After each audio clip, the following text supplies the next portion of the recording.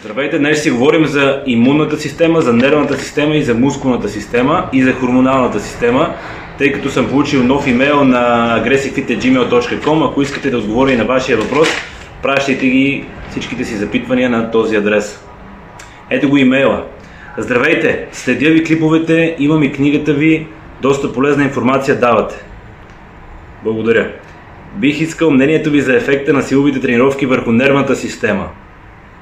Аз лично имам проблем с съня в дните, когато тренирам. Пробвал съм да ходя сутрин, но проблемът остава. Особено проблемно става, ако тренировките станат по-дълги от час. В момента тренирам три пъти в седмицата, правя само базови упражнения, клек, лежанка, тяга, набирания, военна преса и кофи. Миналата година тренирах 4 до 5 пъти седмично за малко повече от месец и резултата беше освен лош сън и слаба имунна система и слаба имунна система. Разболях се няколко пъти в много кратък срок. Има ли начин да укрепя нервната си система с тренировки? Ясно е, че при мен е слабо звено. На 44 години съм натурално трениращ от 6 години в залата. При натурално трениращите този проблем го имаме винаги, когато стигнем до едно ниво на напредналост.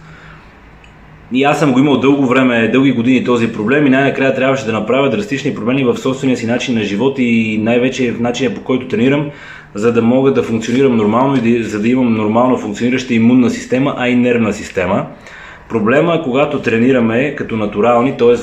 без да влагаме, внасяме изкуствени хормони а, в тялото си и препарати, е, че с времето, като напредваме, нашата мускулна система може да понесе много повече стрес и е необходим много повече стрес, за да напредне, да продължим да, да прогресираме, да ни се покачва силата и мускулната система, отколкото нашата нервна система и хормонална система могат да понесат. Нервната система е обвързана с хормоналната система, тъй като ако си претоварим нервната система, се вдигат стресовите хормони. Стресовите хормони, ако са прекалено високи, развалят баланса между анаболизъм и катаболизъм. Съответно, хормоналната система се прецаква и прецака ли се хормоналната система, следва да се прецака и имунната система и оттам ни пада имунитета. Проблема при натура, натурално трениращите е, че когато сме начинаещи, нашата мускулна система може, е е много по-слаба или може не точно, това не е точната дума, че е по-слаба, но няма толкова голям капацитет да понесе физически стрес. Тоест, ако почнем да тренираме а, като начинаещи с 50 кг на лежанката, м- ние ще, понеже тежестта ще бъде от обективна гледна точка прекалено лека, ние ще може да приложим този стрес, например тренировка за гърди или тренировка на движението лежанка, може би 2, 3, дори в някои случаи 4 пъти на седмица с тези 50 кг и постепенно ще можем да увеличаваме обема, да увеличаваме килограмите, интензивността върху лоста и да прогресираме. Обаче, когато ставаме, минаваме периода на, на, на начинаещи, минаваме периода на средно напреднали и стигаме до периода на напреднали, от обективна гледна точка тежестта може вече да е 120 кг на лежанката.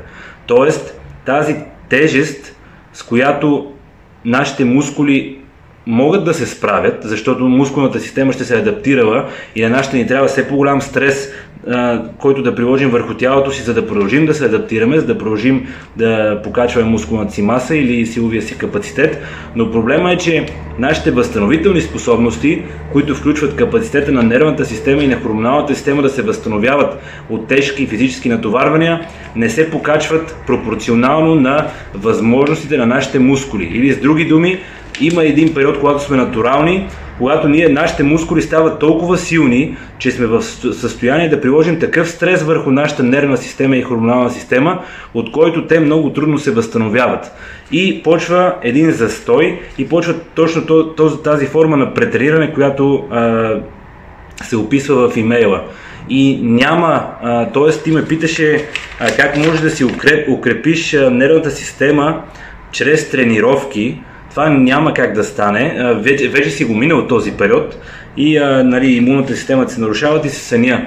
Нормално, защото ти си пържиш нервната система, тъй като вече си стигнал такова ниво, казваш, че от 6 години тренираш натурално, стигнал си най-вероятно такова ниво, а, при което самата ти работна тежест е прекалено а, висока от обективна гледна точка и дори минимален брой серии, 2-3 серии, примерно работни, стресират нервната ти система прекалено много, вдига се кортизола, вдигат се стресовите хормони като цяло, адреналина, а, също и биопродуктите на тези хормони и Тялото ти като натурален не може да запази а, баланса между анаболни и катаболни хормони, затова катаболните хормони се вдигат повече от нормалното и това те държи а, превъзбуден, затова не можеш да спиш, нервната система прекалено много се претоварва.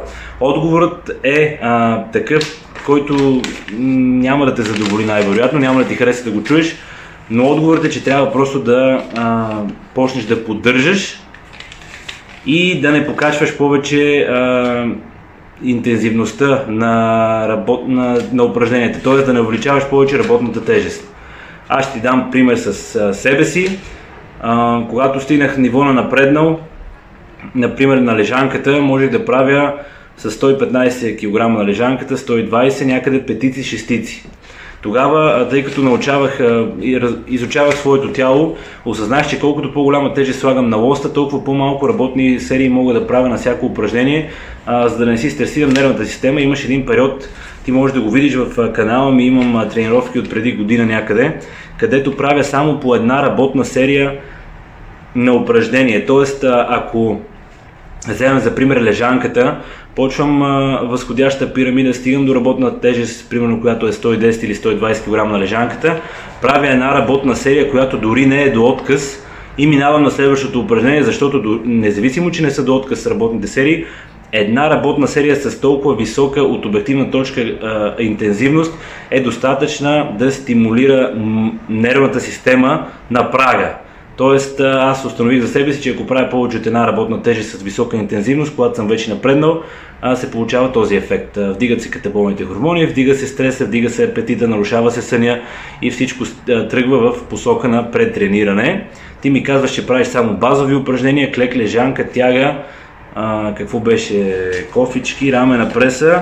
И мисля, че ми каза, че тренираш три пъти в седмицата и ги правиш по две упражнения на тренировка.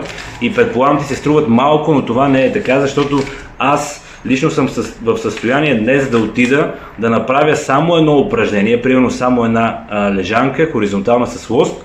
И ако направя няколко серии прекалено тежки, пак мога да си претоваря нервната система дори с няколко серии, ако тръгна да правя максове, ще си я претоваря дори с 2-3 серии, сигурно като стигна до работна тежест и после цял ден няма да мога да спа и ще чувствам супер зле и супер изморен.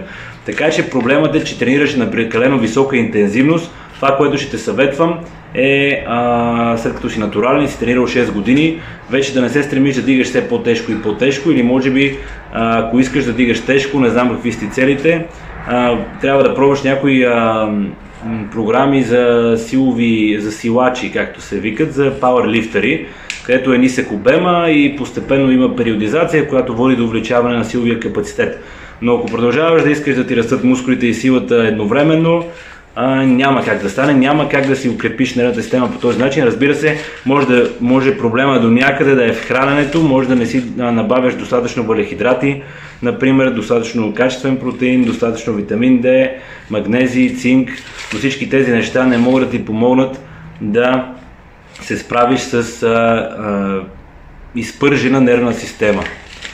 Това е. Просто тренирай по-леко, намали си интензивността, не, не стига и до отказ и може би увеличи леко обема. Аз в момента, преди тренирах с 120 кг на лежанката, в момента тренирам с 90 повечето дни.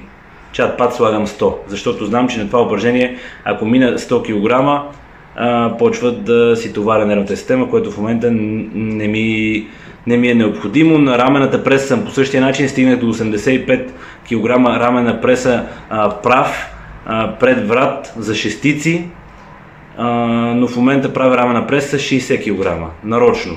Не, че съм отслабнал нарочно. За 2-3 седмици мога пак да стигна тази сила и пак да почна да си пържа нервната система, но за какво? Няма нужда.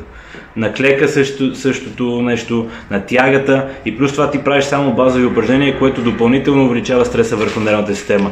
Базови упражнения, висока интензивност и а, трениране с, ако тренираш и до отказ, това е просто рецепта за тотално смачкване на нервната система и оттам на имунната и така нататък. Вече сигурно се повтарям, но това ти е проблема. Просто тренирай по-леко, слушай тялото си а, и тренирай докато ти падне тонуса. Не отговарям в стил а, фитнес маняк, но това е истината.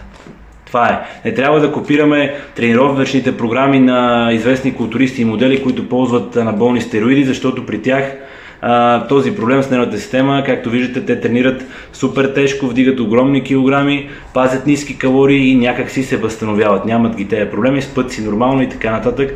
Но а, в реалния свят тези неща или този начин на живот и на трениране няма да работи и вие единствено ще се разболеете, ще претренирате и няма да се чувствате добре. Това е за сега. Ако имате още въпроси, пишете ги на aggressivefit.gmail.com и аз съм out.